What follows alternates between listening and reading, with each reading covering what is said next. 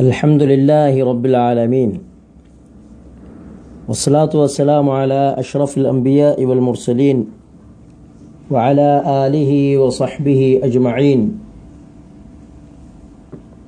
ومن تبعهم بإحسان إلى يوم الدين أما بعد السلام عليكم ورحمة الله وبركاته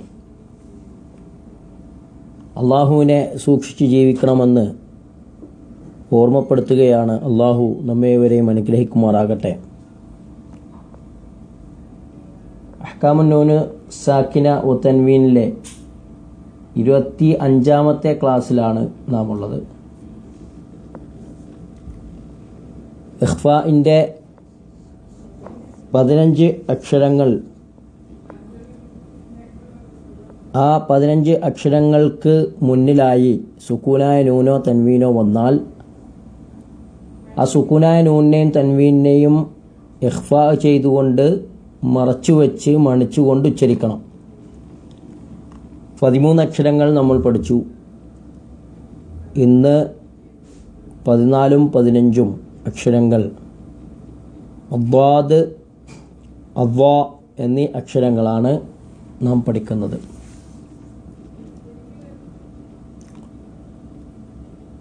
വാദ് എന്ന അക്ഷരത്തിന് മുന്നിലായി സുക്കൂനായ നൂൻ. അതേ കെലിമയിൽ തന്നെ വരികയാണെങ്കിൽ നമുക്ക് കാണാൻ സാധിക്കും. മങ്ദൂദ്. മങ്ദൂദ്. അവിടെ മൻദൂദ് എന്നല്ല ഉച്ചരിക്കുക മറിച്ച് ആ നൂനെ അല്പം ഇഹ്ഫാ ചെയ്തുകൊണ്ട് അവ്യക്തമാക്കിക്കൊണ്ടാണ് നാം ഉച്ചരിക്കുക മങ്ദൂദ്. അതുപോലെ സുക്കൂനായ നൂൻ ഒരു കെലിമയിലും ബാദ് മറ്റൊരു കെലിമയിലും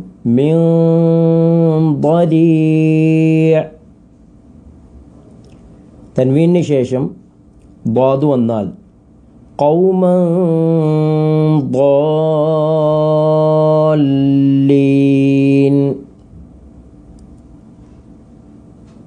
അതുപോലെ വ എന്ന അക്ഷരം അതിനു മുമ്പായി സുക്കൂനായ നൂന് അതേ കലിമയിൽ വരുമ്പോൾ നമുക്ക് കാണാം ഖുർആാനിൽ ഫങ്ലുർ ഫങ്ലുർ രണ്ട് കലിമയിലായി മങ്ലുലിം മങ്ലുലിം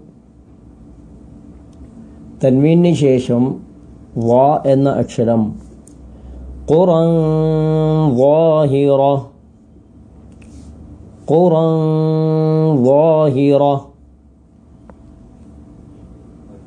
ഈ രൂപത്തിൽ ഖുർആാനിൽ പല ഭാഗത്തും ഇഹ്ഫാഇന്റെ അക്ഷരങ്ങളും അതിന്റെ ഉച്ചാരണങ്ങളും നാം ശ്രദ്ധിക്കേണ്ടതാണ്. പതിനഞ്ച് അക്ഷരങ്ങൾ എന്ന് നാം പറഞ്ഞു.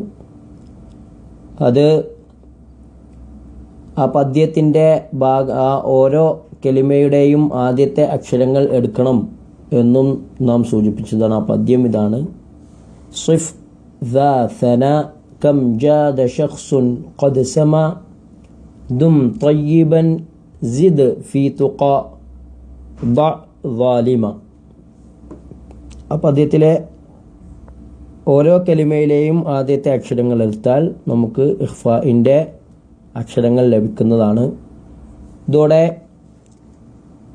അഹ്കാമുന്നോന് സാക്കിന വത്തൻവീന്റെ നിയമങ്ങൾ പൂർത്തിയാകുകയാണ്. നാല് നിയമങ്ങളാണുള്ളത്. ഒന്ന് ഇദ്ഹാർ ഇദ്ഹാറിന് ആറ് അക്ഷരങ്ങൾ. രണ്ടാമത്തേത് അൽ ഇദ്ഗാം. ഇദ്ഗാമിന് ആറ് അക്ഷരങ്ങൾ. അത് രണ്ടായി തിരിച്ചിട്ടുണ്ട്. ഇദ്ഗാം ബിഗുന്ന ഇദ്ഗാം ബിഗൈരി ഗുന്ന മൂന്നാമത്തേത് അൽ ഇഖ്ലാബ്. ഇഖ്ലാബിന് ഒരക്ഷരം. അങ്ങനെ ആറും ആറും പന്ത്രണ്ടും ഒന്നും പതിമൂന്ന് ഇഹ്ഫിന്റെ പതിനഞ്ച് അക്ഷരങ്ങൾ. അങ്ങനെ ഇരുപത്തിയെട്ട് അക്ഷരങ്ങൾ. ഈ ഇരുപത്തെട്ട് അക്ഷരങ്ങൾക്ക് മുമ്പായി സുക്കൂനായ നൂനോ തൻവീനോ വന്നാൽ അതിനെ ഓരോ സ്ഥലത്തും ചെയ്യേണ്ട കാര്യങ്ങൾ നാം വിശദീകരിച്ചിട്ടുണ്ട്. ഒന്നുകിൽ അതിനെ ഇഹാർ ചെയ്യണം വെളിവാക്കി ഉച്ചരിക്കണം അല്ലെങ്കിൽ കൂട്ടിച്ചേർത്ത് ഇദ്ഗാമ് ചെയ്ത് ഉച്ചരിക്കണം. അതല്ലെങ്കിൽ ആ നൂനിനെ അല്ലെങ്കിൽ തൻവീനെ മീമാക്കി മാറ്റി ഉച്ചരിക്കണം. അതുമല്ലെങ്കിൽ അതിനെ എഹ്ഫ ചെയ്യണം. ഈ നാല് നിയമങ്ങളാണ് ഉള്ളത്. ആ നിയമങ്ങൾ അനുസരിച്ചു കൊണ്ട് തന്നെ ഖുർആൻ പാരായണം ചെയ്യുവാൻ നാം പരിശ്രമിക്കുക. അള്ളാഹു നമ്മേവരെയും അനുഗ്രഹിക്കുമാറാകട്ടെ. സൂറത്തുൽ ഖാഷിയ ഇന്ന് ഒന്ന് ഓതുകയാണ്. അതിൽ വന്നിട്ടുള്ള എല്ലാ നിയമങ്ങളും നാം പ്രത്യേകം ശ്രദ്ധിക്കുക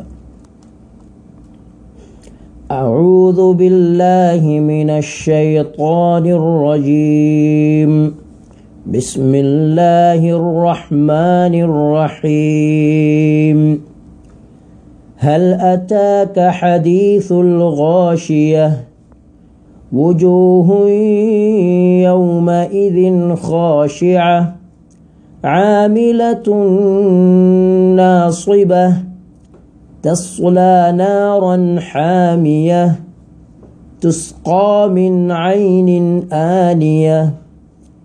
ليس لهم طعام إلا من ضريع. لا يسمن ولا يغني من جوع.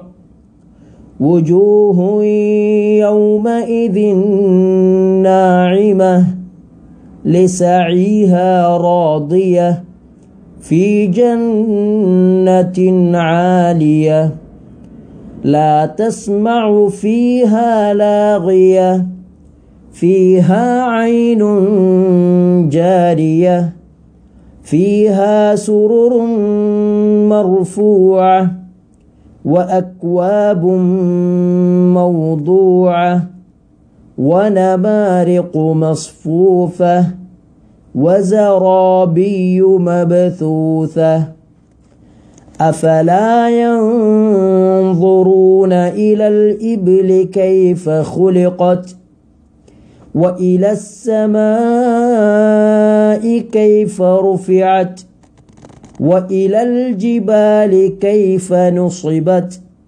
وإلى الأرض كيف سطحت؟ فذكر إنما أنت مذكر لست عليهم بمسيطر إلا من تولى وكفر. فيعذبه الله العذاب الأكبر إن إلينا إيابهم ثم إن علينا حسابهم അള്ളാഹു ഖുർആൻ ശരിയായ രൂപത്തിൽ പാരായണം ചെയ്യുകയും അതിൻ്റെ ആശയങ്ങൾ ജീവിതത്തിൽ പകർത്തുകയും ചെയ്യുന്നവരിൽ നമ്മേവരെയും ഉൾപ്പെടുത്തി അനുഗ്രഹിക്കുമാറാകട്ടെ. വ ആഖിറു ദഅവാന അനിൽഹംദുലില്ലാഹി റബ്ബിൽ ആലമീൻ. അസ്സലാമു അലൈക്കും വറഹ്മത്തുള്ളാഹി വബറകാതുഹു.